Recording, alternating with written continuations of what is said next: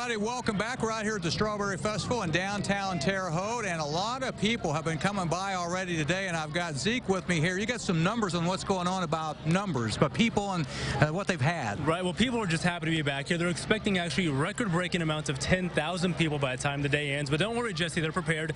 7,300 pounds of strawberries ordered and over uh, nearly 11,000 biscuits. However, I got ice cream earlier. The weather was not friendly, melted pretty quick. But overall, a great time. But you like the food. Fantastic. First time out here, I'll be back. All right, sounds good. Hey, I'm going to say, Gwen, come on in here. I got Gwen Hicks, who's in charge of the, the event.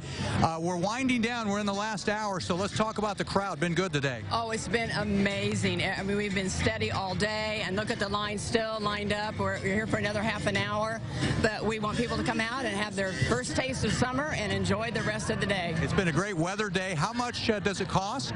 It's $6 for the works, Okay. and you can get in any line, and there's no calories because it's a church function. uh, but yeah, just come on out and enjoy at 630 Ohio, First Congregational Church. One last thing, you couldn't do this without some help, right? Oh, our amazing, incredible volunteers. Every line, serving line, is all manned with volunteers, and we've we've been so blessed to have them come out and help us. But you know, you said there's a line, but the line's moving, so don't be discouraged if you see the line. They're getting through quick. Oh no, come in. You've got a half an hour to get out here, and we're, we're moving through fast. That's it. We've got a new system, and it's working well this year. Glad we're back this year. We're glad to be back. Yes, thank you, thank you. All right, let's talk about weather. Hey, earlier today I was down in Worthington, Indiana, and uh, speaking to a summer camp down there about weather and also safety tips. So there you go. That's my group down in Worthington. Had a great time talking to those kids earlier today. Next up, let's talk about the weather and what's going on across the area for us today. We've seen a lot of cloud cover moving into the area. The cloud cover, though, is not actually producing any uh, any precipitation. Our high and low temperatures for the day today, we actually got up to around 80 degrees for the daytime high. We started out kind of cool, dropping down into the 50s, so mid 50s. 56 was our low early this morning. It was a little cool out there early on. Uh, we've not gotten any rain, so in precipitation, you'll see there's nothing showing up as far as any rain across the area. Some people out here have been asking because it looks like it could rain, but we really don't see any of that going on, at least until probably late, late overnight. Here's what we've got now as we take you out to Terre Haute and the uh, airport.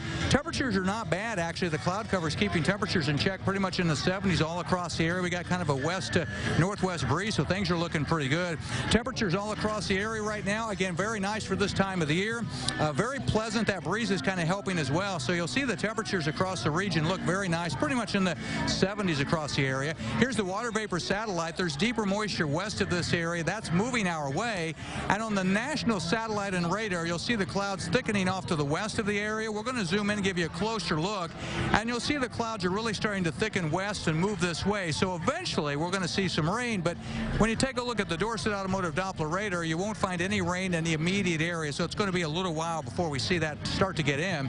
We're going to show you the next 48 hours, and we'll put this in motion. And you'll see some rain chances developing by tomorrow morning. Uh, the rain will probably be fairly light tomorrow. I don't think it's anything big. And most of that's going to be over by tomorrow evening. So over the next 48 hours, we'll see that rain chance tomorrow. That leaves tomorrow evening. And then we're looking pretty good as we head for the upcoming weekend. So Let's take a look at the forecast for tonight then. We're looking for basically partly cloudy skies and mild weather tonight. Tomorrow then we'll be back probably around 70 with some rain chances and then by the weekend it looks nice but get this, we've got hot weather. Temperatures could be close to 100 by next week.